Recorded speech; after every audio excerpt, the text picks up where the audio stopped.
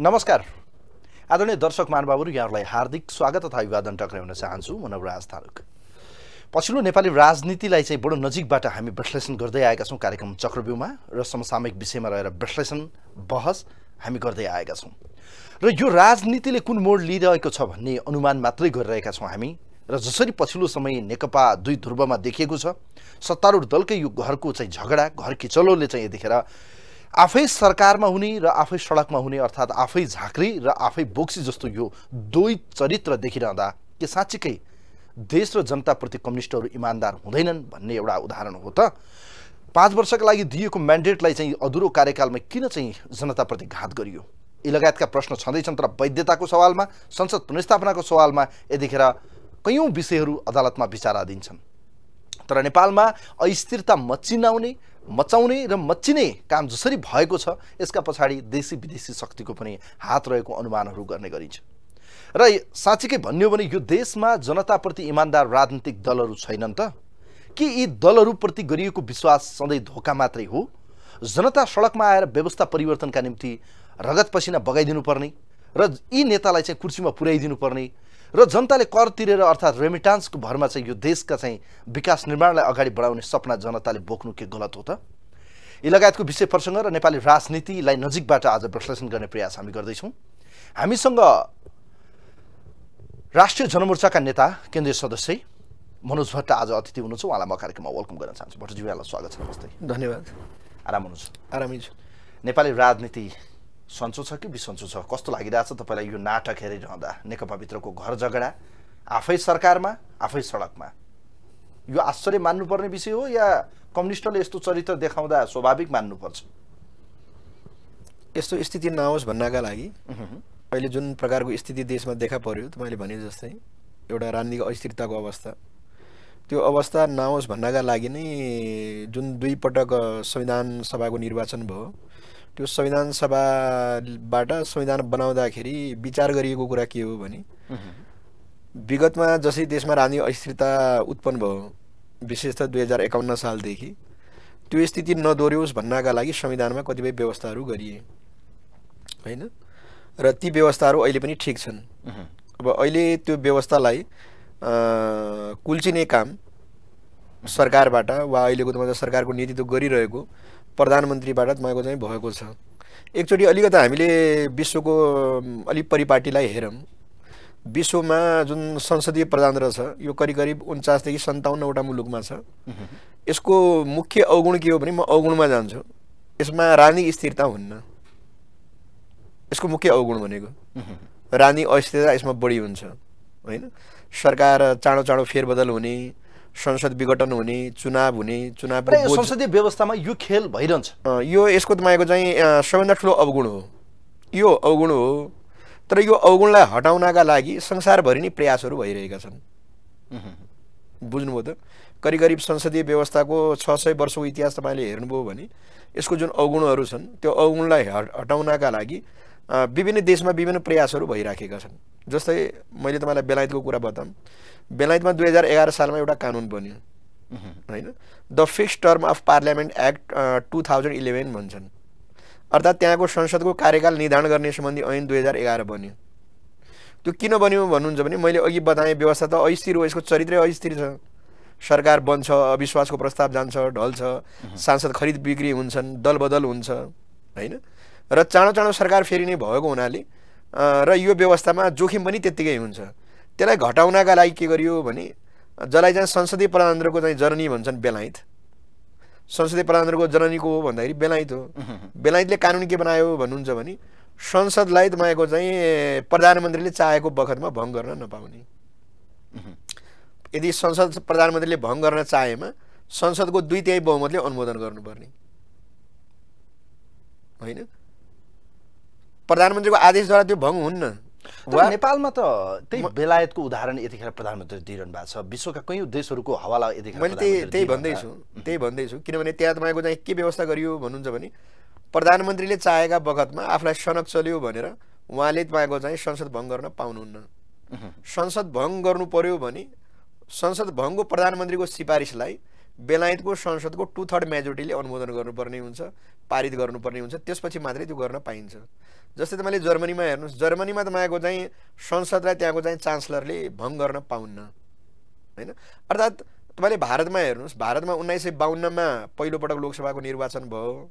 दुई हजार उन्नाइस सालसम्म हेर्ने हो भने सत्रवटा लोकसभाका निर्वाचन भए जम्मा चार पटक मात्रै त्यहाँ तपाईँ संसद भङ्ग भयो। मैले यो उदाहरणहरू तपाईँलाई किन दिएको बेग्ला बेग्लै मुलुकका भन्नुहुन्छ भने संसदीय व्यवस्थाका जुन अवगुणहरू छन् त्यो अवगुणलाई मिनिमाइज गर्नका लागि संसारभरि नै प्रयास भइरहेछन्।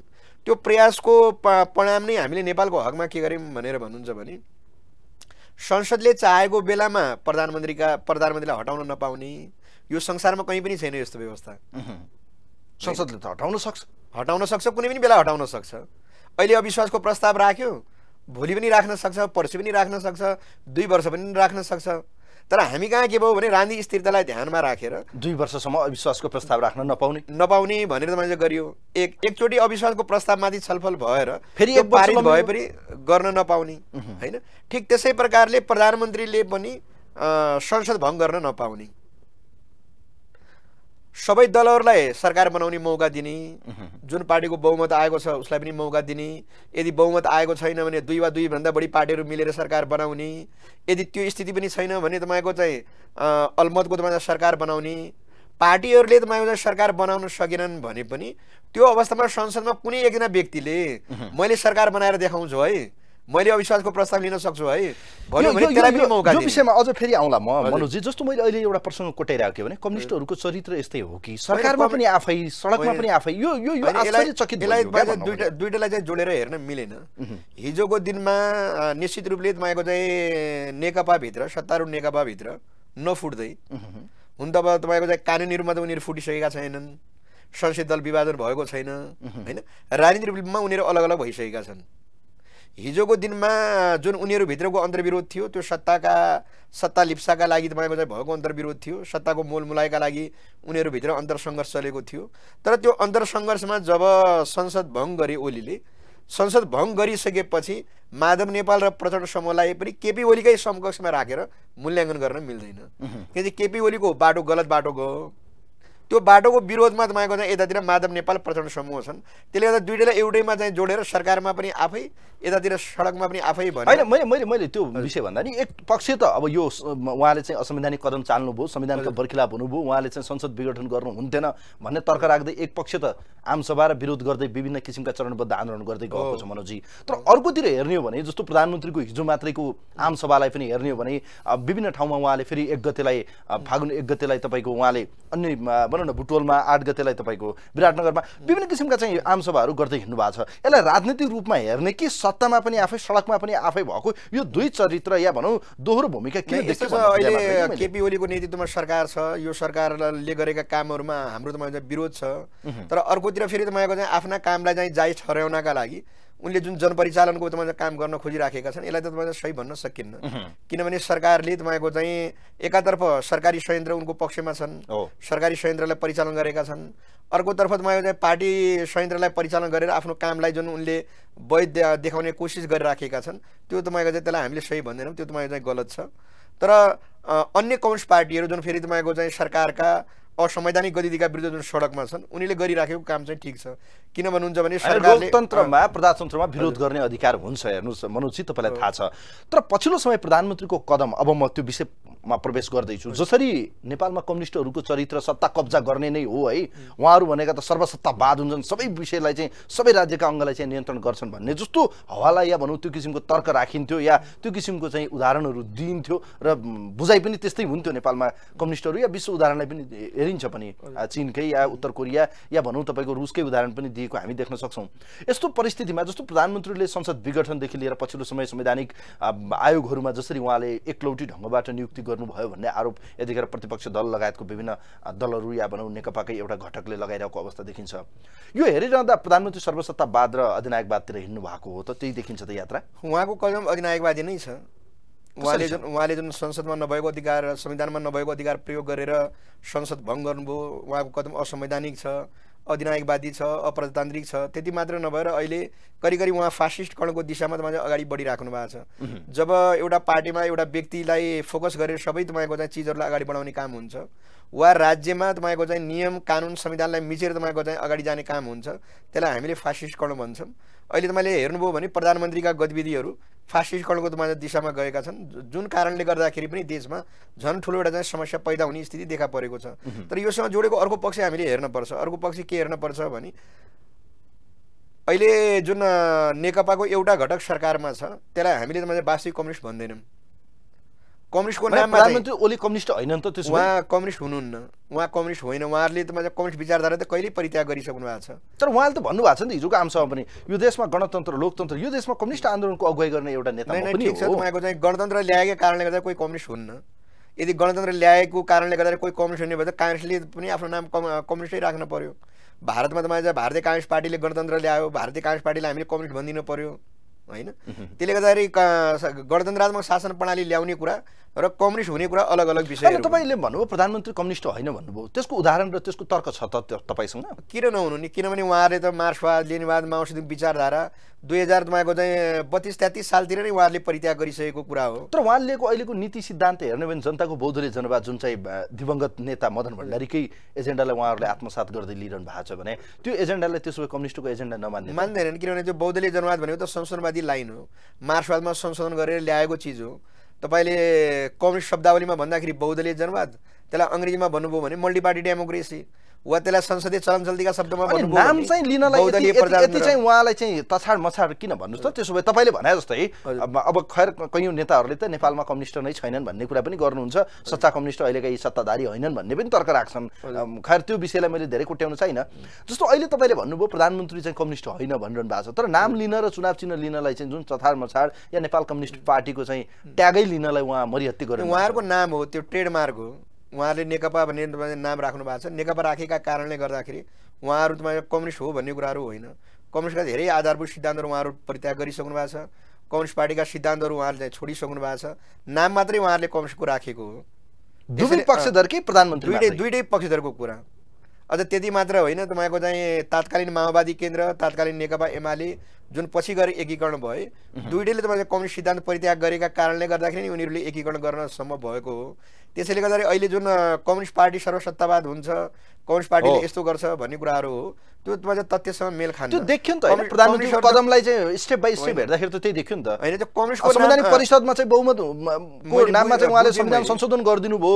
बुझेँ मैले उहाँको कदमलाई त हामीले विरोधै गरेका छौँ नि किनभने उहाँको कदम एउटा फाँसीकरणको दिशामा अगाडि बढेको कदम हो होइन?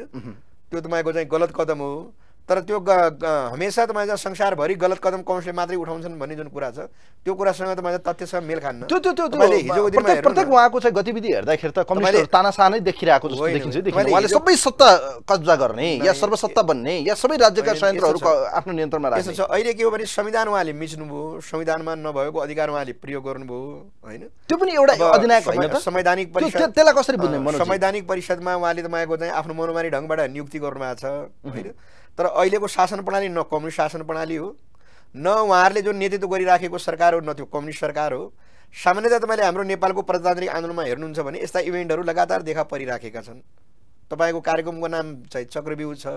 वास्तवमा हेर्ने हो भने हामी नेपालमा यही चक्रव्यूहमा फँसेका छौँ हेर्नुहोस् हाम्रो पहिलो पुस्ताले केका लागि लड्यो? दुई हजार सत्र सालमा राजा महेन्द्रले संसद भङ्ग गरेका कारण तिस वर्ष लड्न पर्यो। त्यही पुनस्थापना गर्नलाई। पुनस्थापना गर्नका लागि। त्यसपछि दुई हजार एकाउन्न सालमा गिर्जाले संसद विघटन गर्नुभयो। हाम्रो पुस्ता केका लागि लड्यो? तपाईँको चाहिँ गणतन्त्र ल्याउनलाई। लोकतन्त्र र गणतन्त्रका लागि तपाईँ चाहिँ लड्न पर्यो। अहिले फेरि केपी ओलीले तपाईँको चाहिँ गणतन्त्र के अरे संसद भङ्ग गर्नुभयो। हामीले के गर्नु पर्यो? फेरि तपाईँ चाहिँ लोकतन्त्र लोकतन्त्रका लागि तपाईँ चाहिँ लड्नु पर्यो। यसरी हेर्ने हो भने हाम्रो जुन लडाइँ छ यो एकदम गोल चक्करमा फसिरहेको छ। त्यसैले गर्दाखेरि हाम्रो भनाइ के थियो भने संविधान निर्माण गर्दाखेरि वा संविधान सभाको मकसद के थियो भने अब यो स्थिति नआओस् है। संसद भङ्ग गर्न गर्ने कुरा तपाईँ प्रधानमन्त्रीको सनकको भरमा नजाओस्। यदि संसद भङ्ग गर्ने कुरा फेरि तपाईँ प्रधानमन्त्रीको सनकको आधारमा हामीले अधिकार दियौँ भने फेरि हाम्रो लडाइँको गोल चक्कर कहाँ घुम्छ? त्यही संसदको पुनस्थापनाका लागि त्यही लोकतान्त्रिक हक अधिकारको रक्षाका लागि तपाईँ चाहिँ घुम्छ। भने यसरी तपाईँको चाहिँ जुन संविधानमा संसद र सरकारका बिचको जुन सन्तुलन मिलाउने काम गर्यो त्यसलाई उहाँले तपाईँ क्रस गर्नुभयो त्यसलाई अतिक्रमण गर्नुभयो अहिलेको त्रुटि थिएन तर प्रधानमन्त्रीले त्रुटि गर्नुभयो त्यसो भए होइन अहिले त तपाईँको चाहिँ ती सबै हिजोका दिनका कुराहरू मैले जुन तपाईँलाई विश्वमा बताएँ। संसदीय प्रणालीका अवगुणहरूबाट शिक्षा लिएर नै त्यो व्यवस्था गरेको हो नि। जस्तै बेलायतले व्यवस्था गर्यो। त कतिसम्म गरिदिउँ भने दुई वर्षसम्म त अविश्वासै राख्न नपाइने जे गर्दा नि आँखा चिम्लिनु पर्ने त्यो के का लागि भने कम्तीमा एउटा सरकारले दुई वर्ष त चलाओस्। स्थायित्व? होस् स्थायित्व होस् भन्नका लागि हो होइन अर्को तपाईँको कुरा मैले के चाहिँ जोडौँ भने जस्तै हिजो गिर्जाले तपाईँको चाहिँ सम्पूर्ण संयन्त्र राज्य यन्त्रमा काङ्ग्रेसीकरण गरे। काङ्ग्रेसीकरण गरे नि सम्पूर्ण राज्य यन्त्रलाई उहाँले के गर्नुभयो काङ्ग्रेसीकरण गरिदिनु भयो उहाँ कम्युनिस्ट त हुनुहुन्न थियो ठिक त्यसै भएर तपाईँले माओवादी कालमा हेर्नुभयो भने माओवादीले त कतिसम्म गरिदियो भनेर भन्नुहुन्छ भने रुकुमागत कटुवालाई हटाएर खड्कालाई ल्याएर सम्पूर्ण सेना कब्जा गरेर होइन? सम्पूर्ण तपाईँ चाहिँ शासन व्यवस्थामा तपाईँ चाहिँ आफ्नो नियन्त्रण कायम गर्ने गरी सम्पूर्ण माओवादीकरण गर्ने गरी तपाईँ चाहिँ प्रचण्डले काम गरे। उहाँ कम्युनिस्ट त हुनुहुन्न थियो हेर्नुहोस्। त्यसैले यस्ता कामहरू जसले गर्छन् ती कम्युनिस्टहरू होइनन् ती निरङ्कुश हुन् वा निरङ्कुशताको तपाईँ चाहिँ चाहना राखेका तपाईँ चाहिँ शक्तिहरू हुन् जस्तो अहिले अहिले। एउटा कुरा भनौँ न अहिले प्रधानमन्त्रीको जय जयकार र लोकप्रियता यति धेरै बढ्नुको पछाडि चाहिँ कारण के देख्नुहुन्छ जस्तो तपाईँहरू भनिरहनु भएको छ उहाँ गलत हो। तर जनता उहाँको पक्षमा देखिरहेको छ उहाँले जनता उहाँको पक्षमा छैन जनता उहाँको पक्षमा भयो जस्तो देखिएको छ जनता उहाँको पक्षमा अनि यो। आमसभाहरूमा देखिएका आम चाहिँ के सभामा हुन् त त ती? त्यस्तो हुन्छ त तपाईँले चाहिँ हिजोको दिनमा हेर्नुहोस् त राजा ज्ञानेन्द्र जहाँ तपाईँ उहाँ जानुहुन्थ्यो त्यहीँ तपाईँ लाखौँ मान्छेहरू सडकमा आउँथे हेर्नुहोस् तर त्यसको तपाईँको चाहिँ राजाले भ्रमण गरेको चालिस पैँतालिस दिनपछि तपाईँले हेर्नुभयो। जनआन्दोलन भयो। जनआन्दोलनपछि ती मान्छेहरू कहाँ गए? कहाँ गए हेर्नुहोस्। राजा शक्तिहीन भयो। अहिले पनि तपाईँले हेर्नुहुन्छ भने के छ भन्नुहुन्छ भने केपी ओलीका निकटका मान्छेले केपी ओलीले धेरै राम्रो काम गरेका छ भनेर उनलाई फुर्किराखेका छन्। हो। होइन? उहाँ तपाईँ करिब करिब एक प्रकारले भन्नु भन्नुहुन्छ भने नाङ्गै भइसक्नु भएको छ। होइन? तर ओलीका मान्छेले के भन्दैछन् भने आहा हाम्रो ओलीजीले तपाईँ चाहिँ धेरै राम्रो आभूषण लगाउनु भएको छ धेरै राम्रा लुगा लगाउनु भएको छ यो लुगामा धेरै सुहाउनु भएको छ भनेर भनिराखेका छन्। तर उहाँ नगन हुनुहुन्छ। भने उहाँ त प्रजातन्त्रको जुन तपाईँको चाहिँ जुन का का लागि हामीले तपाईँ चाहिँ त्यत्रो दुई हजार बयासठी त्रिसठी सालको जनआन्दोलनमा तपाईँ चाहिँ रगत बगायौँ जसका लागि दुई हजार बयासठी त्रिसठी साल भयो। भनौँ न अब तपाईँ चाहिँ संविधान जारी भएको पाँच वर्षमै उहाँ तपाईँको चाहिँ संविधान उल्लङ्घन गर्न पुग्नुभयो। जुन शक्तिले यो व्यवस्था ल्याए जुन शक्तिले संविधान बनाए यदि त्यो शक्तिले नै संविधानको उल्लङ्घन गर्ने हो भने अनि राजावादी शक्तिले त्यो संविधानको उल्लङ्घन गर्दाखेरि तपाईँ चाहिँ कहाँनिर गलत हुन्छ त? त्यसो भए त त हेर्दाखेरि त। यसो हेर्दाखेरि त्यसो भए तुलनात्मक रूपमा प्रधानमन्त्री भन्दा प्रचण्डहरू नै सही हो त त्यसो भए अहिलेको हकमा उहाँहरू सही हुनुहुन्छ। हिजो निश्चित रूपले उनीहरूभित्र चलेको जुन सङ्घर्ष हो त्यो सत्ताको मोलमलाइको लागि चाहिँ चलेको सङ्घर्ष हो। त्यही त मैले भने नि। अब यसको पृष्ठभूमिमा जानै पर्ने देखियो मनोजी। तपाईँले भनिरहनु भएको छ प्रचण्डजीहरूले लिएको अहिलेको एजेन्डा ठिक छ। तर यसको ग्रान्ड डिजाइन र यसको अलिकति पृष्ठभूमिमा प्रधानमन्त्रीले भनिरहेको विषयलाई हामीले मान्ने कि नमान्ने? उहाँले भनिरहनु भएको छ म जनताको लोकप्रियता पाएको मान्छे म देश र जनताप्रति काम गरेको मान्छे। आज मलाई हटाउन खोज्दा म बहुमतको प्रधानमन्त्री हो। मेरो राइट्स थियो मैले चाहिँ संसद रिजर्भ गरेँ। मैले के गरेँ? म जनताको बिचमा। जाने कुरा चुनाव गर्ने कुरा अन्यथा गरेँ मैले के अपराध। गरेँ भन्दै हुनुहुन्छ उहाँले? उहाँले उहाँको त्यो लजिक मिलेन। अहिले उहाँले जुन लजिक राखिराख्नु भएको छ पार्टीले मलाई घेराबन्दी गर्यो हो। हाम्रो संविधानले पार्टीले कुनै पनि प्रधानमन्त्रीलाई घेराबन्दी गर्यो गरेन भने चाहिँ चिन्दैन। हाम्रो तपाईँ चाहिँ संविधानले चिन्ने के हो भने संसदले तपाईँको चाहिँ सरकारलाई सहयोग गर्यो कि गरेन। तपाईँले हेर्नुहुन्छ भने चौहत्तरदेखि यता तिनवटा तपाईँको चाहिँ नीति र कार्यक्रम अहिलेको सरकारले। तपाईँको चाहिँ पेस गर्नुभयो। कहीँ कुनै एउटा तपाईँ दफा तपाईँको चाहिँ संशोधन भएन एउटा दफा थपिएन। सबै तपाईँ एक महिना एकताका साथ पारित भयो। ठिक त्यसै प्रकारले उहाँले तिनवटा बजेट तपाईँको चाहिँ पेस गर्नुभयो। ती बजेटहरू पारित भए। संविधानसँग तपाईँ जोडेका कैयौँ कानुनहरू त्यहाँ तपाईँ प्रस्तुत भए ती सबै पारित भए। अझ कतिसम्म भन्नुहुन्छ भने प्रधानमन्त्रीले संसदको रोस्टरमा उभिएर भन्नुभयो कोरोना लागिसकेपछि औषधि चाहिन्न बेसार पानी खानुहोस् भन्दा पनि संसदले परल थपडी बजायो कहाँनिर उहाँलाई असहयोग गर्यो त? भने सरकार र संसदका बिचमा कहीँ कन्फ्लिक्ट देखिएन हेर्नुहोस्। मान्न सकिन्छ संसदीय परिपाटीमा कैयौँ ठाउँमा के देखिन्छ उहाँले भने- भनिरहनु भएको छ नि त मलाई अविश्वासको प्रस्ताव ल्याउने राष्ट्रपतिलाई चाहिँ महाभियोग प्रस्ताव राख्ने यो किसिमको चाहिँ आन्तरिक चलखेल भयो देशी विदेशी शक्ति लागे मलाई कुर्सीबाट हटाउन खोजियो जनताको बिचमा जान्छु अब मलाई काम गर्न भएन उहाँकै भनाइअनुसार पनि के भयो भने उहाँले त चाहिँ बिहान साढे दस एघार बजी संसद भङ्ग गर्नुभयो। होइन? सांसदहरू साढे तिन बजी त उहाँको चाहिँ अविश्वासको प्रस्ताव दर्ता गराउन गए। अनि कहाँनिर उहाँहरूलाई त मैले अविश्वासको प्रस्ताव ल्याए त? उहाँले त संसद भङ्ग गरी चाहिँ बल्ल त्यो प्रोसेस अगाडि बढ्यो। यदि संसद भङ्ग गर्नुभन्दा अगाडि पनि यदि त्यो प्रोसेस अगाडि बढेको भए उहाँले त आफ्नो पक्षमा विश्वासको मत छ त्योभन्दा पहिले उहाँले त संसद डिजर्भ गर्नुभन्दा पनि पहिले संसद अधिवेशन नै रोकिएको अवस्था या। भनौँ त्यो बेला संसदै नबसेको बेला। अविश्वासको प्रस्ताव आउने सम्भावना देखिएन। उहाँले पौष पाँच गते जुन किसिमको त्यसलाई नै आधार मानौँ। ठिक छ एउटा आधार हामीले के मानौँ भने उहाँका विरुद्ध अविश्वासको प्रस्ताव आउँदै थियो। त्यही। भएर उहाँले त मैले डिजल्भ गर्नुभयो। हो। उहाँको त्यसो भए छ। त्यसो भए तपाईँ संसद उहाँको निजी सम्पत्ति हो त। उहाँ प्रधानमन्त्री निजी बलमा बन्नु भएको हो त होइन नि त? किनभने नेपाल कम्युनिस्ट पार्टीको संसदीय दलले विश्वास गरेन उहाँलाई प्रधानमन्त्री हो। उहाँको नीति कार्यक्रम उहाँका एजेन्डा सुखी नेपाली समृद्ध नेपाल यो देशलाई डेभलपमेन्ट गर्ने यो देशलाई चाहिँ एउटा विकासको दिशातर्फ लग्ने जुन उहाँको महत्वाकांक्षी योजना थियो त्यसमा चाहिँ तुषारापात भयो जनता र देशप्रति आज धोका हुँदैछ हाल्ने काम भयो भन्ने उहाँले राखिरहनु भएको छ। मिल्दैन त्यसरी किन मिल्दैन भन्नुहुन्छ भने उहाँका विरुद्ध अविश्वासको प्रस्ताव आइरहेको थियो भने उहाँकोमा प्रजातान्त्रिक चरित्र भएको भए उहाँले अविश्वासको प्रस्तावको सामना गर्न पर्थ्यो संविधान बमोजिम। उहाँले आफ्नो पक्षमा विश्वास देखाउनु पर्थ्यो। उहाँले किन संसद भङ्ग गर्नुभयो भने उहाँको पक्षमा विश्वासको मत रहेन भन्ने कुराबाट डराएर न भङ्ग गर्नुभयो। किनभने मेरो पक्षमा विश्वासको मत- अल्पमतमा पर्नुभयो त्यसो भए। अलमतमा पर्नुभयो डराउनु भयो उहाँ। पार्टीको केन्द्रीय समितिमा पनि उहाँ तपाईँको चाहिँ क- अलमतमा पर्नुभयो संसद दलमा पनि उहाँ अलमतमा पर्नुभयो। अविश्वासको प्रस्तावबाट मलाई हटाउँछन् कि भनेर उहाँ डराउनु भयो यदि उहाँको पक्षमा विश्वासको मत थियो भने त उहाँले संसदमा फेस गर्नु पर्थ्यो नि त। सो गर्नु पर्थ्यो नि त। उहाँका विरुद्ध तपाईँले अविश्वासको प्रस्ताव आउँछ उहाँलाई हटाउँछन् भन्ने डरले हारको मानसिकताबाट हो नि त। हाम्रो संविधानले के भन्छ? प्रधानमन्त्री को हुन पाउँछ भन्छ?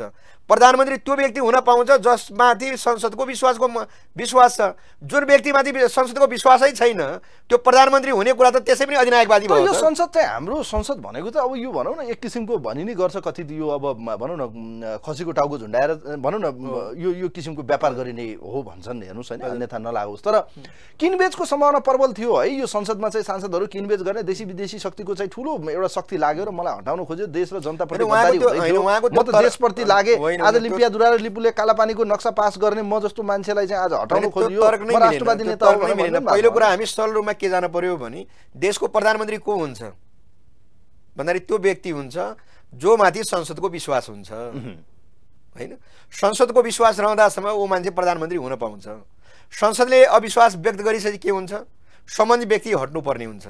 बाहिरका मान्छेले संसदको चाहिँ तिमीमाथि विश्वास छैन भनेर भन्यो। भनेपछि त्यसलाई त उहाँले त प्रमाणीकरण गर्नु पर्यो नि त होइन? संसदको विश्वास म माथि छ भन्ने कुरा त सो गर्न पर्यो नि त। त उहाँले त त्यो गर्नु भएन। किन गर्नु भएन भन्नुहुन्छ भने अधिकांश उनकै पार्टीका सांसदहरू पनि उनको विपक्षमा थिए। उनको कार्यशैलीको विपक्षमा थिए उनको स्वेच्छाचारिताको विपक्षमा थिए। उहाँलाई डर के थियो भन्नुहुन्छ भने म अब संसद दलमा पनि अलमतमा परेँ पार्टी केन्द्रमा पनि अलमतमा परेँ। त्यसले गर्दाखेरि त मको चाहिँ आफ्नो सत्ता गुमाउनुभन्दा आफ्नो सत्ता गुम्न दिनुभन्दा वा प्रधानमन्त्रीको कुर्सी छोड्नुभन्दा बरु संसद भङ्ग गरिदिने पार्टी फुटाइदिने। तपाईँले हेर्नुभयो भने सामन्ती व्यक्तित्वहरूमा पनि सामन्तवादीहरूमा पनि के हुन्छ भने आफ्नो देशप्रति आफ्नो संस्थाप्रति उनीहरूमा चाहिँ निष्ठा हुन्छ कि। उहाँले दाबी गर्नुहुन्छ उहाँ राजाका विरुद्ध चौध वर्ष त्यहाँ जेल बसे भन्नुहुन्छ। हो। होइन? यिनै राजाको तपाईँको चाहिँ पुर्खाले के भन्यो भन्नुहोस् त राजा महेन्द्रले? म मरे पनि मेरो देश बाँचिरहोस्। होइन त? तर म मरे पनि मेरो देश बाँचिरहोस् भन्नेका विरुद्ध चौध वर्ष जेल बसेको मान्छेले के गर्यो? यदि म प्रधानमन्त्रीबाट हट्न पर्छ भने संसद भङ्ग गरिदिन्छु। यदि म पार्टी अध्यक्षबाट हट्नुपर्छ भने मैले पार्टी फुटाइदिन्छु। म कुनै पनि हालतमा तपाईँको चाहिँ प्रधानमन्त्रीबाट पनि हट्दैन पार्टी अध्यक्षबाट पनि हट्दैन। त्यसका लागि स्वेच्छाकारी हुनुभयो उहाँ। स्वेच्छाचारी हुनुभयो नि त। किनभने उहाँमाथि त संसदको विश्वास रहन्छ भन्ने कुरा त स्वयं उहाँको बोलीबाट पनि प्रमाणित भयो नि त। यदि तपाईँको चाहिँ उहाँको पक्षमा संसदको विश्वास हुन्थ्यो भने उहाँले भङ्ग गर्नुपर्ने के आवश्यकता थियो? संसदको अधिवेशन बोलाउनु पर्थ्यो अविश्वासको प्रस्तावको सामना गर्न पर्थ्यो संसदको विश्वास उहाँको पक्षमा छ भन्ने कुरा पार्टी र संसारलाई देखाइदिनु पर्थ्यो। यो भइरहँदाखेरि प्रधानमन्त्री केपी शर्मा ओली हट्ने बित्तिकै देशमा अस्थिरता आउँछ भन्ने एउटा जमात छ एउटा तर्क राख्नेहरू पनि छन्।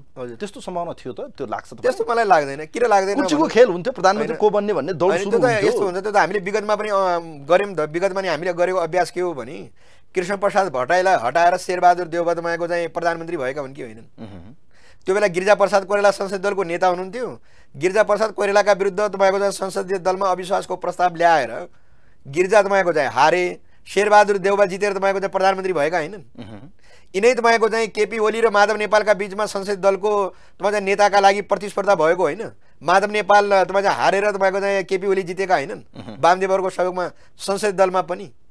एउटा व्यक्ति तपाईँ चाहिँ हट्ने बित्तिकै राजनीतिक अस्थिरता आउँछ र आउँदैन भने पा कुनै पनि व्यक्तिलाई आखिर तपाईँको चाहिँ केपी ओलीलाई प्रधानमन्त्री बनाएको पार्टी अध्यक्ष बनाएको त पार्टीले नै हो नि जब पार्टीको उहाँमाथि विश्वास हुन्न र उहाँका विरुद्ध अविश्वासको प्रस्ताव ल्याउँछ वा उहाँ उहाँ चाहिँ नेतृत्व गर्न सक्षम हुनुहुन्न भनेर भन्छ भने त त्यस्तो अवस्थामा त उहाँले हट्न पर्यो नि त।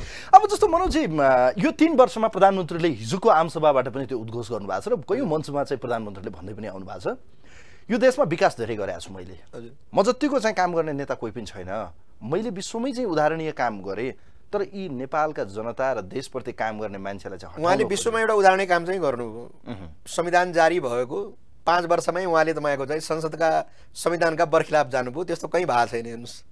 तपाईँले भारतमा पनि हेर्नुहुन्छ भने मैले भारतमा भनेँ नि त उन्नाइस सय बाहन्नमा पहिलो लोकसभाको निर्वाचन भयो होइन? उन्नाइस सय चौरासीमा गएर करिब करिब बत्तिस वर्षपछि गएर बल्ल इन्दिरा गान्धी मरिसकेपछि अब आफ्नो पार्टीको बहुमत आउने देखेर राजीव गान्धीहरूले संसद भङ्ग गरे र चुनावमा गए बत्तिस वर्षपछि। होइन? भने त्यहाँ तपाईँको चाहिँ सरकार बन्नै नसक्ने अवस्थामा मात्रै संसद भङ्ग भएको छ मध्यावधि निर्वाचन भएको छ। उहाँले एउटा विश्वमा तपाईँ चाहिँ कसैले गर्न नसकेको काम के गर्नुभयो भने आफैले बनाएको संविधानको धज्जी उडाएर पाँच वर्षमै उहाँले तपाईँको चाहिँ मध्यावधि निर्वाचनको घोषणा गर्नुभयो। देशलाई राँधी अस्थिरतातर्फ चुनावमा। जाने विषयमा चाहिँ यति आत्तिनु पर्ने कारण चाहिँ होइन होला। सवाल- एउटा एउटा एउटा जनमत त छ नि होइन। चुनावमा जाने भने त संविधानको रक्षा हुन्छ। सवाल सवाल चुनावमा जाने वा नजाने भन्ने कुराहरू होइन। यदि अहिले संसदको पुनस्थापना हुन्न र केपी ओलीले भने जस्तै यदि त्यो सम्भावना त छैन वैशाख सत्र र सत्ताइसमा निर्वाचन हुन्छ भने संविधानमा नयाँ कुरा थपिन्छ है। संविधानमा नयाँ कुरा के थपिन्छ भने हिजो तपाईँको चाहिँ सरकार बन्नै नसक्ने अवस्थामा मात्रै संसद भङ्ग हुन पाउने भन्ने व्यवस्था थियो। अब नयाँ व्यवस्था के थपिन्छ भन्नुहुन्छ भने जुनसुकै प्रधानमन्त्रीले चाहेको बखतमा संसद भङ्ग गर्न पाउँछ। त्यो व्यवस्था हुने बित्तिकै के भयो भन्नुहोस् त? देश त दीर्घकालीन रूपले राजनीतिक अस्थिरतातर्फ त गयो त। जब यो संविधानलाई स्वयं गणतन्त्रवादी शक्तिले मान्दैनन् भने अनि यो संविधानलाई मान्नुपर्ने राजतन्त्रवादी शक्तिलाई कुनै कर छ? कुनै कर छैन। त्यही भएर अहिले तपाईँले हेर्नुभयो भने देशभित्र सारा राजनीतिक शक्तिहरू केपी ओलीको कदमको बर्खिलाफमा छन्। तर एकता छैन। एक एकता छैन। एकता हुन्छ। संयुक्त मञ्च छैन। एकता हुन्छ। खै त कहाँ छ? काङ्ग्रेस आफ्नो। तर्कबाट एकता हुन्छ। अहिले तपाईँले हेर्नुभयो भने केपी ओलीको असंवैधानिक कदमका विरुद्ध के छ? देशका मेजर पार्टीहरू विपक्षमा छन्। हाम्रो पार्टी विपक्षमा छ नेपाली काङ्ग्रेस विपक्षमा छ मधेसवादी दल विपक्षमा छ उनीहरू भित्रकै तपाईँको चाहिँ प्रचण्ड माधव नेपालसम्म विपक्षमा छन्। एउटा शक्तिले मात्रै उहाँलाई वाइ वा वाह वाह गरेको छ त्यो भनेको राजावादी शक्ति।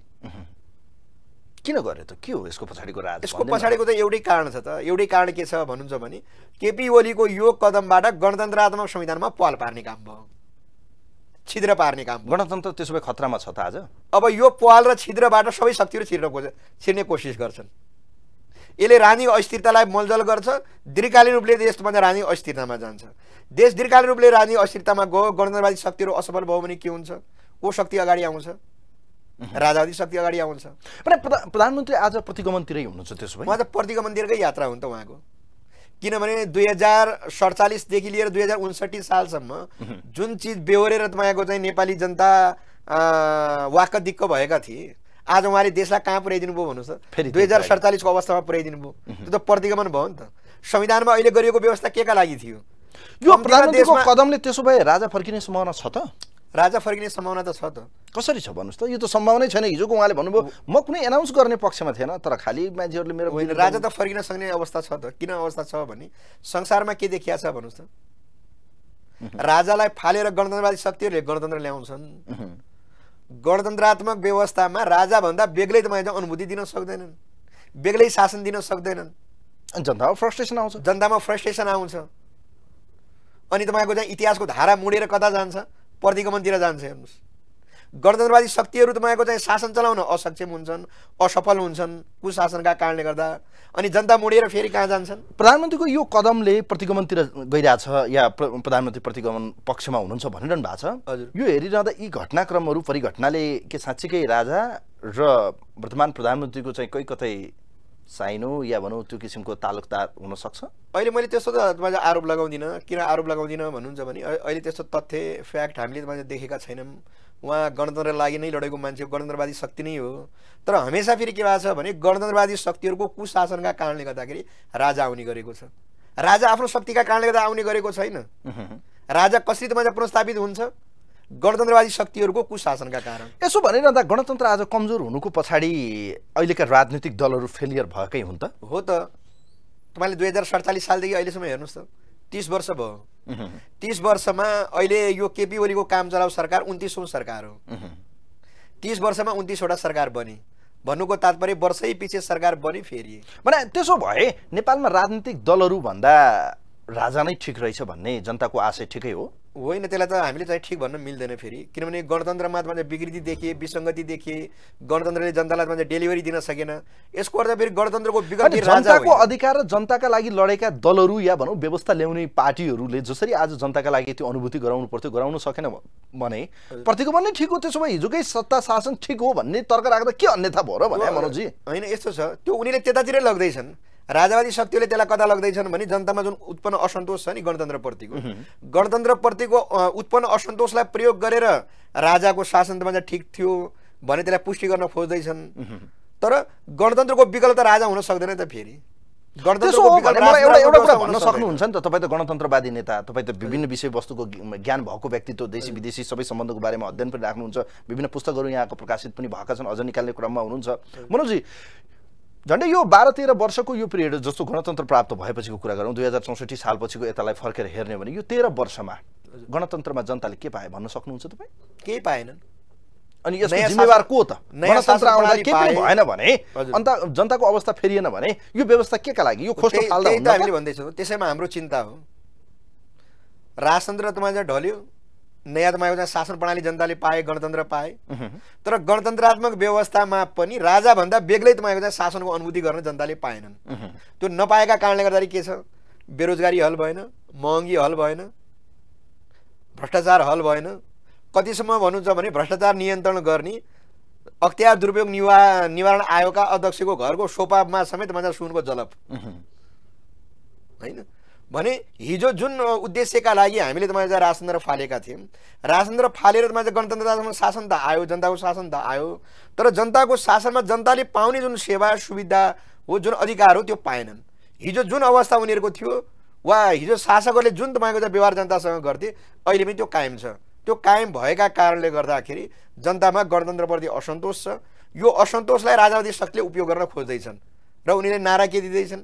राजा आओ देश बचाओ भने गणतन्त्र धोका हो। गणतन्त्र धोका हो।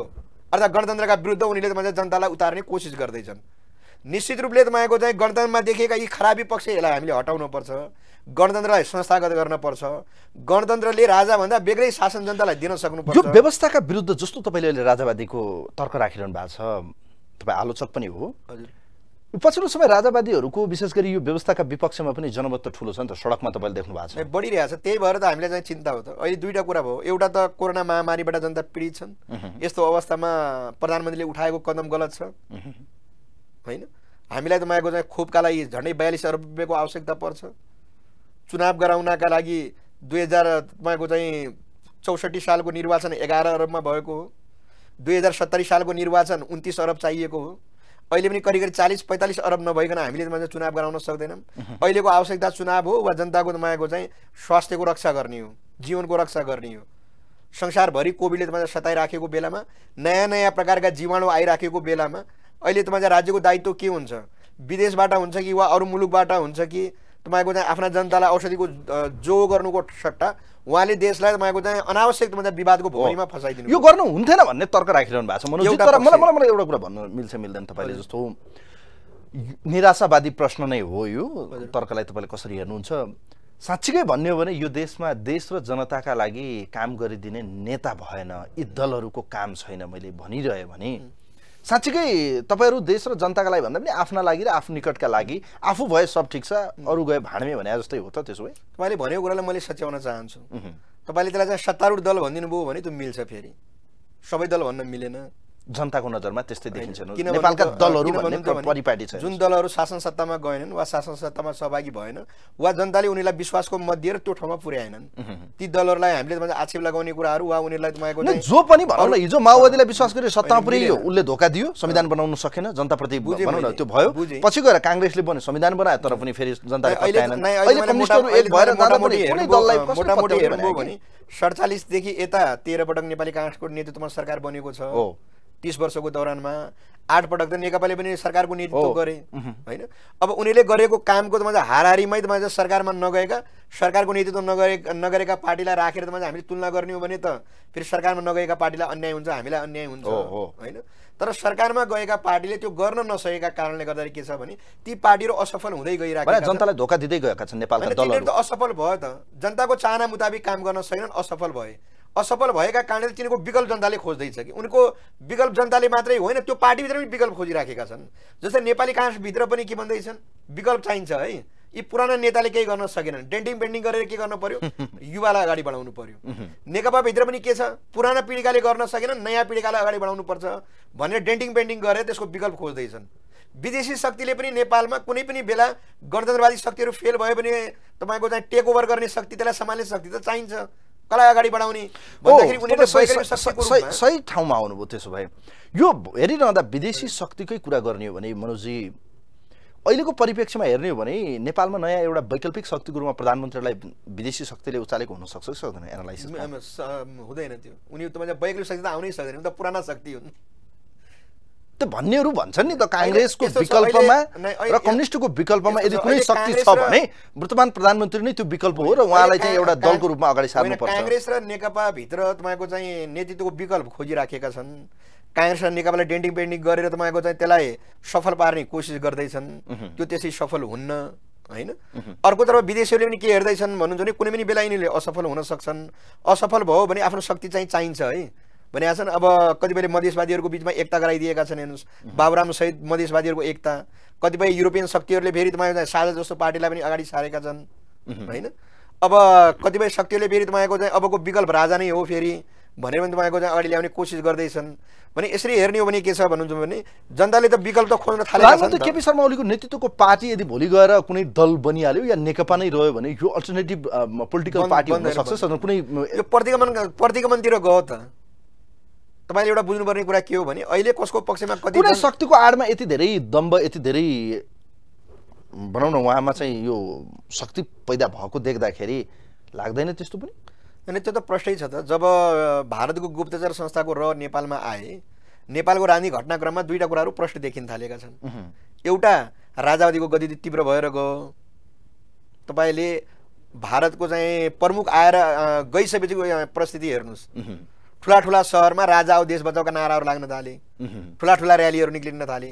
अर्को तपाईँले प्रश्न देखिने गरी के देख्नुहुन्छ भन्नुहुन्छ भने हिजो पार्टीको अन्तर सङ्घर्षमा कम्तीमा तपाईँको चाहिँ लोयल नीति अप्नाएका तपाईँ चाहिँ केपी ओली कडाइका साथ प्रस्तुत हुन थाले।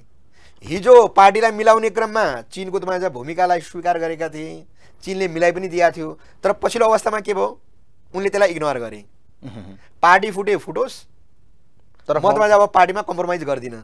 उहाँ। त्यही स्थितिमा जानुभयो। भने त उहाँ त त्यतिकै त त्यो गर्नु भएको छैन। उहाँले चिनको साथ छोडेर त्यतिकै त त्यो गर्नु भएको छैन भन्नुको तात्पर्य के हो भनेर भन्नुहुन्छ भने गोयल्स आइसकेपछि दुईवटा कुरा देखिए। एउटा राजावादीहरूको गति तीव्र रूपमा अगाडि बढ्यो। दोस्रो तपाईँको चाहिँ केपी ओलीले पार्टीभित्रको अन्तर्विरोधमा कडा रुख अप्नाउन थाले। कडा रुख अप्नाउन थाले भन्नुको अर्थ के भयो भनेर भन्नुहुन्छ भने तपाईँले चाहिँ कुनै कदम चाल्नुहोस् हामीले तपाईँलाई सहयोग गर्छौँ भनेर भारतको उक्साटमा उहाँ लाग्नुभयो। भने दक्षिणबाट उहाँलाई बढी बलजोड छ किनभने संसद भङ्ग गर्नका लागि त दक्षिणबाट नि उहाँले तपाईँको चाहिँ बढी उक्साट पाउनुभयो नि किनभने अहिलेको संसद त भारतका लागि टाउको दुखाइ थियो हेर्नुहोस् यही संसद होइन तपाईँको चाहिँ कालापानी नाकाबन्दी भयो। अँ, कालापानी सहितको भूभाग तपाईँ चाहिँ नेपालको नक्सामा जारी गर्ने पनि यही संसद हो। यही संसदको रोस्टरमा उभिएर होइन हाम्रो प्रधानमन्त्रीले भनेको। भारत सिंहमेव जैते हो कि तपाईँ चाहिँ सत्यमेव जैते भनेर। यही संसद होइन जसले तपाईँको चाहिँ एमसिसीलाई तपाईँको चाहिँ प्रस्तुत हुन नै दिएन। भने त्यस्तो अवस्थामा के हो भने चिनले त पछि पनि कोसिस गर्यो त। चिनबाट प्रतिनिधि मण्डल आयो भेट्यो उनीहरूलाई मिलाउने कोसिस गर्यो धेरै कोसिस गर्यो त। तर कोसिस गर्दा पनि उहाँले के गर्नुभयो? उताबाट आएको तपाईँको उत्तरबाट आएको तपाईँ प्रतिनिधि मण्डललाई इग्नोर गरेर जानुभयो। त्यो इग्नोर गर्नुको तात्पर्य के थियो भन्नुहुन्छ भने उहाँले दक्षिणतिर त हात समातिसक्नु भएको थियो हेर्नुहोस्। यी परिघटनाहरूले बडो अचम्मको परिस्थिति सिर्जना गरेको छ। मनोजी बडो चिन्ता व्यक्त गर्छौँ हामी कहिलेकाहीँ लाग्छ हामी यो टेलिभिजनको यो पर्दामा बोलिरहँदा आम जनताले हामीलाई हेरिरहन्छन्। देशप्रति साँच्चीकै यी नेताहरूको काम छैन भनेर भन्दा पनि अझ तुच्छ बोल्या जस्तो फिल हुन्छ कहिलेकाहीँ। नयाँ ल्याउने हो भने पनि यो स्कुलिङबाट आएका नेताहरू कस्ता होलान्। तपाईँको खुट्टामा काँडा बिज्यो भने त्यो काँडालाई निकाल्नका लागि कि तपाईँले आलपिन प्रयोग गर्नुपर्छ कि सियो प्रयोग गर्नुपर्छ कि काँडालाई निकाल्नका लागि काँडा नै प्रयोग गर्नुपर्छ। बिग्रिएको भत्केको तपाईँको चाहिँ बिग्रिँदी विसङ्गतितिर गएको जुन राजनीतिक सिस्टम छ हाम्रो त्यसलाई फेरि ट्र्याकमा ल्याउनलाई त राजनीतिक पार्टी नै चाहियो नि। त्यही त ल्याउने त ठिक छ कि तपाईँहरू लागिरहनु भएको छ। तर आउने पनि को हो भन्ने कुरा नै भयो आउने को। प्रचण्ड माधव नेपाल। या भनौँ शेरबहादुर देउबा। चित्रबहादुर केसी या एक्स वाइ होइन, जेड भन्नु न। उहाँहरू तपाईँको चाहिँ अब प्रचण्डको कुरा भन्नुहोस् केपी ओलीको कुरा भन्नुहोस् माधवका कुरा भन्नुहोस् वा नेकाका कुराहरू भन्नुहोस् उहाँहरू आउने कहिलेसम्म? जनताले त बारम्बार परीक्षण गरेका छन्। हो त्यही त भने टेस्टेड सबै भइसके। जनताले विश्वास गर्ने अनुहार छैन। अनि हामी यिनै नेतालाई चाहिँ रिपिटली नहीं, त्यो त रिपिटली तपाईँको गरेर आएका यस्तो छौँ। जनतामा निराशा आउनु त स्वाभाविक जनताले आफ्नो नयाँ शक्तिलाई अगाडि बढाउँछन्। त्यसमा त चाहिँ कुनै शङ्कै छैन। नयाँ शक्ति भने को छ त यो देशमा। नयाँ शक्ति भनेको त हामी नै हौँ नि। हामी हौँ राष्ट्रिय जनमोर्चा हो। किन भन्नुहुन्छ भने जुन राष्ट्रिय जनमोर्चाले लामो समयसम्म देशमा गणतन्त्रका लागि लड्यो माओवादी जातिका विरुद्ध लड्यो राजाको प्रतिगमनका विरुद्ध लड्यो अहिले तपाईँको चाहिँ केपी ओलीको प्रतिगमनका विरुद्ध लडिराखेको छ। जुन राष्ट्रिय सानो भयो तपाईँहरूसँग होइन, त्यो त यस्तो छ। जनमत छैन कार्यकर्ता पनि सुन्नु न, भारतमा तपाईँले हेर्नुभयो भने सुरुमा भारतीय काङ्ग्रेस पार्टी त मान्छे कहाँ त मान्छे बलियो थियो र? अङ्ग्रेजहरूले त मान्छे तिन चारजना अङ्ग्रेजहरू मिलेर बनेको भारतीय काङ्ग्रेस पार्टी होइन। त्यसको त पहिलो र दोस्रो सभापति समेत तपाईँको चाहिँ अङ्ग्रेज हुन्। एउटा पनि प्रत्यक्ष सिट जित्न नसक्ने पार्टीले यो देशमा मै राज गर्छु भन्नु भने त्यसलाई तपाईँले अर्को ढङ्गबाट हेर्नुहोस् अर्को ढङ्गबाट कसरी हेर्नुहोस् भने बयालिस सालमा त तपाईँको चाहिँ नेकपाका नेकपाले तपाईँ चाहिँ राष्ट्रिय पञ्चायतमा जितेको सिट कति हो? जम्मा चार। चारवटा सिट हो। बयालिस सालमा राष्ट्रिय पञ्चायतको चाहिँ चुनाव हुँदाखेरि देशभरिबाट उम्मेदवार उठाउँदा नेकपा एमाले जितेको सिट सङ्ख्या चार हो। तर त्यसको चाहिँ पाँच वर्षपछि के भयो? पाँच वर्षपछि संसदको सबैभन्दा बलियो तपाईँको चाहिँ प्रतिपक्षी बन्यो। होइन? हो त्यसले गर्दा जनताले कसलाई कहाँ पुर्याइदिन्छन् भन्ने कुराको तपाईँ चाहिँ ठेक्का तपाईँको चाहिँ रानी राजनीति गरिराखेका छु भन्ने ठेकेदारहरूको हातमा त्यही त मैले एउटा कुरा यहाँनिर अझ थपेँ जस्तो अहिले तपाईँहरूले जुन भनिरहनु भएको छ अबको अल्टरनेटिभ पार्टी नै आउनुपर्छ हामी हो या हामी जस्तै अन्य दलहरूको चाहिँ हुनसक्छ भन्ने जुन तर्क राखिरहनु भएको छ मनोजी जनताले पत्याइदिने ती दल र पात्र छन् त भने अहिले देशभरि स्कुलिङ त्यही छ। प्रभाव देखिरहनु भएको छ। देशी विदेशी प्रभावहरू हेर्नु न तपाईँले यसलाई पनि कसरी हेर्नुहोस् भनेर भन्नुहुन्छ भने मैले त्यो भन्नका पछाडि आधारहरू छन् तर्कहरू छन्। त्यतिकै मैले तपाईँलाई भनेको छैन। आज देशव्यापी रूपमा संहिताका विरुद्ध के छ? संहिताका जनमत छ। संहिताका विरुद्ध धेरै ठुलो शक्तिशाली जनमत चाहिँ निर्माण भएको छ। र त्यो त्यो जनमतलाई आफ्नो पक्षमा क्यास गर्नका लागि राजादी शक्तिले पनि कोसिस गरिराखेका छन् त्यो त्यतिकै गरेका छन् र। त्यो जनमत हाम्रो पक्षमा बनेको जनमत हो नि। तर त्यो जनमतलाई राजावादी शक्तिहरूले पनि संहिता विरुद्धको नारा दिएर क्यास गर्ने कोसिस गर्दैछन्। त्यही संहिताको विरोधमा फेरि केपी ओलीले पनि तपाईँको त नारा दिएर तपाईँको त्यसलाई क्यास गर्ने कोसिस गर्दैछन्। भने अब यो शक्तिलाई तपाईँ चाहिँ इग्नोर गर्न मिल्छ।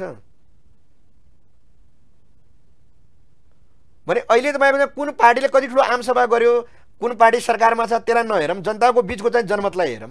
जनताको बिचको जनमत के छ भन्नुहोस्? जनताको बिचमा जति जनमत भए पनि चुनावमा जाँदा त तिनी दल र त्यही छाप बाहेक होइन, अन्य त मत गएको देखिन्न त्यो जनमतले के विगत? तिस वर्ष यताको लागि हामी उदाहरणै हेरौँ। तपाईँले उदाहरण दिनुभयो तेह्र पटक चाहिँ काङ्ग्रेस सत्तामा पुग्यो आठ पटक चाहिँ नेकपा पुग्यो या भनौँ एक दुई पटक माओवादी पुग्यो या अन्य स्वतन्त्र पनि सरकारको मन्त्री परिषदको निर्णय भनौँ न त्यो नेतृत्व गरियो।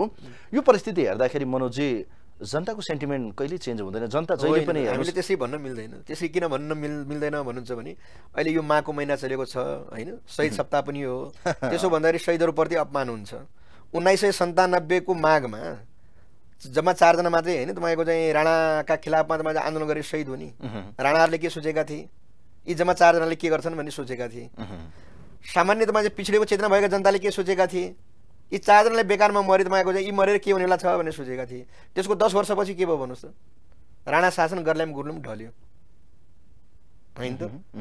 अब छयालिस सालमा तपाईँले हेर्नुभयो भने राजाले आफूलाई बलियै ठान्थ्यो छयालिसको कुरा किन बयासठी त्रिसठीको आन्दोलनमा त हामी प्रत्यक्ष सामेल भयौँ नि त। मैले त मात्रै सत्ता आफ्नो हातमा लिन्छु म दाई जस्तो चुप्पा लागेर बस्दैन। भने नै सत्ता हातमा लिएका हुन् नि त ज्ञानेन्द्रले। हामी सात पार्टीले आन्दोलन गर्दाखेरि सात पार्टीका सत्र भाइ कार्यकर्ताभन्दा बढी हुन्न थियौँ। तर पछि परिणामले के गर्यो? परिणामले के गर्यो भने हामीले उठाइरहेका कुराहरू न्यायोचित थिए। राजा ज्ञानेन्द्रले गरेको काम चाहिँ अन्यायपूर्ण थियो। जसको परिणाम के भयो भन्नुहुन्छ भने अन्यायपूर्ण शक्ति हार्नु अनिवार्य थियो।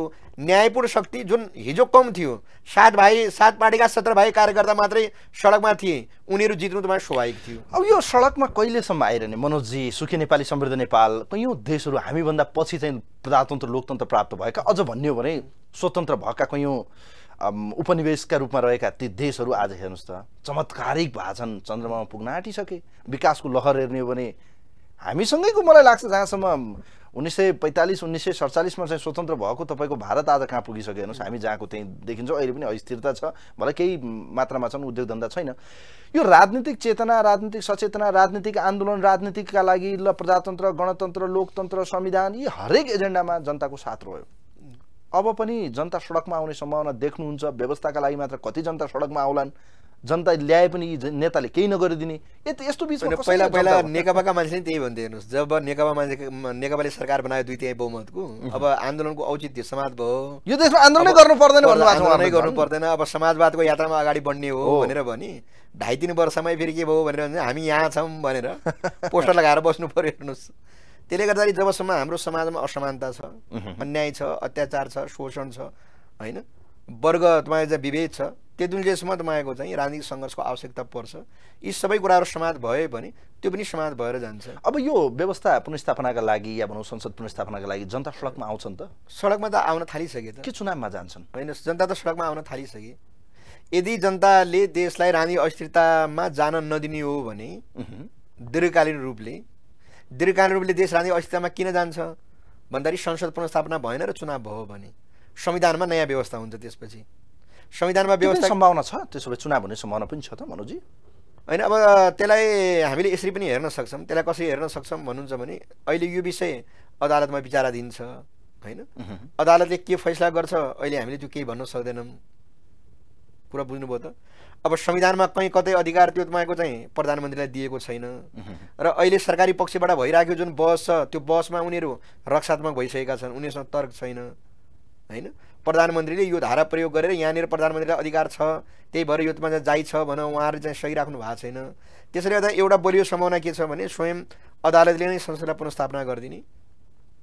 अर्को तपाईँ चाहिँ बलियो सम्भावना तपाईँ चाहिँ के छ भनेर भन्नुहुन्छ भने अहिले अलिकति काङ्ग्रेसले बुद्धि पुर्याउने। होइन काङ्ग्रेसले अहिलेको काङ्ग्रेस बिपीले नेतृत्व गरेको काङ्ग्रेस हो तपाईँको चाहिँ हिजोको दिनमा गणेश मान सिंहले नेतृत्व गरेको काङ्ग्रेस हो भन्ने यसलाई पुष्टि गर्ने। किनभने शेरबहादुर देउबाले काङ्ग्रेसको नेतृत्व गरे तर शेरबहादुर देउबाले हमेसा के गरेका छन् भने सत्ताको लोभमा प्रधान र दरबारमा बुझाइदिएका छन्। हिजो सत्ताको लोभमा प्रधान र दरबारमा बुझाइदिए सत्ताको लोभमा पार्टी फुटाइदिए अहिले पनि सत्ताको लोभमा उहाँले नारा दिन सकिराख्नु भएको छैन। होइन? किनभने तपाईँको चाहिँ अहिले मौका यही हो नेकपा फुटेको। यही फुटको दौरानमा चाहिँ चुनावमा गयो भने हाम्रो बहुमत आउँछ म प्रधानमन्त्री हुन्छु भन्ने छ। तर अर्को कुरा उहाँ बिर्सिराख्नु भएको छ फेरि। के बिर्सिराख्नु भएको छ भन्नुहुन्छ भने भोलि फेरि तपाईँको चाहिँ संविधानमा त नयाँ कुरा त थपिने हो त। त्यो के थपिने हो भने जुनसुकै प्रधानमन्त्रीले चाहेका बेलामा संसद भङ्ग गर्न पाउने। संसद भङ्ग भयो भने देश राजनीतिक अस्थिरतातर्फ जाने। आफ्ना सांसदलाई बचाउनका लागि थाइल्यान्ड पुर्याउनु पर्ने। आफ्ना सांसदलाई बचाउनका लागि उनीहरूलाई सुरा र सुन्दरीको व्यवस्था गर्न पर्ने। जसको सुरुवातमा शेरबहादुरले नै गर्नुभएको खैर अब अन्त्यमा छु म। हजुर। बडो यो निराशाजनक प्रश्न पनि छ मनोजी।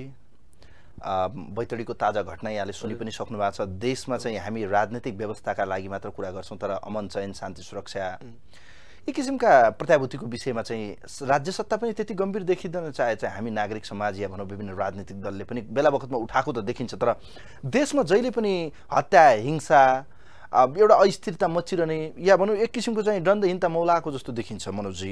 पछिल्लो घटनाक्रमलाई हेर्ने भने बैतडीको त्यो किशोरीको जुन विभत्स किसिमले हत्या भएको छ आशंका उपशङ्काहरू छन् प्रहरीको निष्क्रियता छ निर्मला पन्तदेखि सम्झना विक कैयौँ घटनाहरूलाई कोट्याउने हो भने पनि यो पछिल्लो लोकतन्त्र प्रजातन्त्र या गणतन्त्र आएपछि पनि यो शान्ति सुरक्षा अमन चयन दण्डहीनता किन कम हुन सकेन किन जनतामा त्यो प्रत्याभूति हुन सकेन किन आपराधिक घटनाहरू दिन प्रतिदिन बढ्दै गएका छन् मनोजी सो तपाईँले भनेको कुरा महिला हिंसासँग जोडिन्छ होइन? केही समय यता तपाईँ महिलाहरूको महिला हिंसाको रेट एकदम बढेर गएको छ। अझ त्यसमा पछिमा झन् त्यो बढेर गएको छ। अब भाइरे चाहिँ भट्टको पनि जुन बैतडी दोगडा केदार गाउँपालिकाकी बालिका मृत अवस्थामा फेला परेकी छन् मृत मात्रै होइन उनको त्यो लासको प्रकृति हेर्दाखेरि उनलाई तपाईँ चाहिँ जबरजस्ती गरेर नै उनको हत्या गरेको भन्ने कुरा देखिन्छ। अब त्यसबारेमा सरकारले तदारुकता चाहिँ देखाएको छ अहिले। अब सङ्घीय तपाईँको चाहिँ प्रदेश तपाईँको चाहिँ प्रहरीबाट तुरन्तै एसए एसएसपीको नेतृत्वमा टोली पुगेको छ। अब जिल्लाको सिडिओहरू पनि त्यहाँ तपाईँको चाहिँ पुगेका छन्। हाम्रो पार्टीको तर्फबाट तपाईँ त्यो बारेमा स्टेटमेन्ट तपाईँ जारी भइसकेका छ। र लगत्तै हामीले त्यो बारेमा केही कार्यक्रम गर्दैछौँ त्यो सोच हामीले बनाएका छौँ। केन्द्रीय स्तरमा पनि हाम्रो विद्यार्थी सङ्गठनबाट र महिला मोर्चा विद्यार्थी सङ्गठनबाट वक्तव्य गइसकेको छ। महिला मोर्चाबाट पनि वक्तव्य तपाईँ ल्याउने अगाडि तपाईँको दिने भन्ने कुरा भएको छ। र यो घटनालाई हामीले गम्भीरतापूर्वक हेरेका छौँ। त्यो बालिका एकातर्फ बालिका छ अर्कोतर्फ उनको पिताको मृत्यु भएको एक महिना पनि। पुगेको छैन। दाइले त क्रिया गरेर दाई अहिले त दिल्ली छन्। अब घरमा एउटा त्यस्तो तपाईँको चाहिँ दुःखमा उनको परिवार गुजिराखेको बेलामा झन् दुःखमाथि दुःख थपिने काम भएको छ। र त्यो एरियामा केही तपाईँ अवांछित केटाहरूका गतिविधिहरू तपाईँ चाहिँ केही दिनदेखि तपाईँ बढी थिए भन्ने कुराहरू छ। अब ती अवांछित तपाईँको चाहिँ युवाहरूद्वारा घटाइएको घटना हो कि वा उनी अरू कसैको तपाईँ चाहिँ प्रलोभनमा परेर घरबाट कहीँ जाने यो क्रममा घटना विशेषलाई भन्दा पनि मनोजी अधिकांश घटनाहरू त्यस्तो देखिएका हुनाले राज्य कति संवेदनशील छ भन्ने विषय हो। हाम्रो राज्यको उपस्थिति शान्ति सुरक्षाको अमन चयनको विषयमा मैले कुरा गर्दैछु। कहीँबाट दिनदाडै मान्छे मारेका छन्। मारेका। घटनाहरू सुन्नमा आउँछन् हेर्नुहोस्। यस्तो आपराधिक समाज किन बन्यो? क्रिमिनल सोसाइटी किन बनिरहेको छ मनोजी? के हो कारण? यसमा राज्यले मलाई ध्यान दिनुपर्छ। यसमा राज्यले ध्यान दिएन भने हुन्न। मैले अघि नै भने नि हिजो राजाको तपाईँ शासनकालमा जनताको जीवधनको सुरक्षा भएन भनेर हामीले गणतन्त्र ल्यायौँ। हो। तर गणतन्त्रमा पनि तपाईँ चाहिँ के छ भने जनताको जीवधनको सुरक्षा हुन सकिरहेको छैन। होइन? अब त्यसले गर्दा त तपाईँ राजाले झन् बढी मौका मिलिरहेको छ हेर्नुहोस्। गणतन्त्रमा पनि जनताको चाहिँ जीवधनको तपाईँ सुरक्षा हुन सकेन। निर्मला पन्त तपाईँ जस्ता तपाईँ घटना घट्यो भन्ने कुराहरू उनीहरूले यसलाई तपाईँ बढी उठाएर यसका विरुद्धको चाहिँ जनमतलाई क्यास गर्ने कोसिस गरिराखेका छन्। त्यसले गर्दा जनताको जीवधनको सुरक्षा गर्नु जुनसुकै सरकारको पनि दायित्व हो। त्यो दायित्वबाट ऊ पन्छिन मिल्दैन। हस् धेरै धेरै धन्यवाद दिन चाहन्छु। मनोजी समय दिएर स्टुडियोसम्म आइदिनु भयो म धन्यवाद दिन चाहन्छु। हुन्छ तपाईँलाई धेरै धेरै धन्यवाद। हस् थ्याङ्क यू अवसर दिनुभयो। आदरणीय दर्शक महानुभाव आजको यो विशेष संवाद चक्रव्यूहमा हामीसँग राष्ट्रिय जनमोर्चाका केन्द्रीय सदस्य प्रभावशाली युवा नेता हामीसँग हुनुहुन्थ्यो। मनोज भट्ट उहाँसँग हामीले पछिल्लो समयको नेपाली राजनीतिक घटनाक्रमको बारेमा सही र सठिक विश्लेषण गर्ने प्रयास गऱ्यौँ समाजमा विभिन्न किसिमका आपराधिक क्रियाकलापहरू बढिरहेको छ। हाम्रो समाज नेगेटिभ माइन्डेडसँगै क्रिमिनल पनि बनिरहेको छ र योतिर राज्यको ध्यान जानु जरुरी छ र सम्पूर्ण तह र तब्कामा रहेका व्यक्तिहरूले पनि खास गरी यो समाजमा चाहिँ भइरहेका विभिन्न किसिमका आपराधिक क्रियाकलापमा संलग्न व्यक्तिहरू कहीँ न कतै बचाउने राजनीतिक दाउपेचमा चाहिँ संरक्षण गरिने काम गरिनु हुँदैन भन्ने पनि तर्क राखिन थालिएको छ। विशेष गरी किशोरी किशोरीहरू जो चाहिँ अलिकति एजमा पनि अलिकति कम देखिएका छन्। ती तीमाथि चाहिँ समाजमा चाहिँ यो किसिमका घटनाहरू रिपिटली हुनुले पनि समाजमा चाहिँ किशोरीहरू अलिकति असुरक्षित भएका हुन् कि भन्ने आशंका पनि छ। योतिर पनि राज्यको ध्यान जान जरुरी छ। कार्यक्रम हेरिदिनु भयो। यहाँहरू सम्पूर्णलाई धेरै धेरै धन्यवाद दिँदै कार्यक्रमको एउटा टिम आजका अतिथिसँग कार्यक्रमबाट म पनि बिदा हुन्छु। हवस् नमस्कार।